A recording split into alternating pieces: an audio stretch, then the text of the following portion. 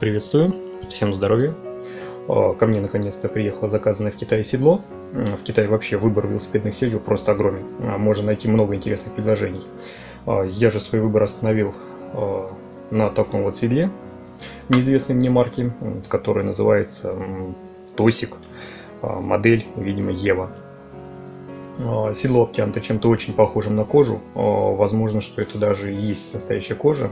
Я не эксперт, к сожалению, в этом вопросе. Но покрытие на ощупь очень приятное, не скользкое.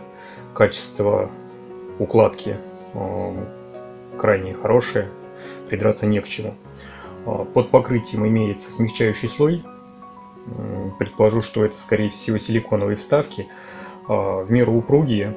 Думаю, что седло будет весьма удобное. А, габариты седла а, в длину 270 мм, в ширину 145 мм.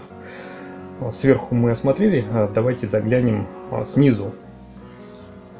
Основа седла полностью выполнена из карбона, также из карбона выполнена и рамка, которая, к слову, имеет достаточно большую зону регулировки положения в замке подседельного штыря.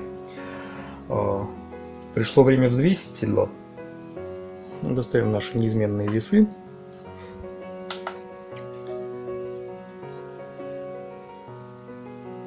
И узнаем, что седло весит 124 грамма.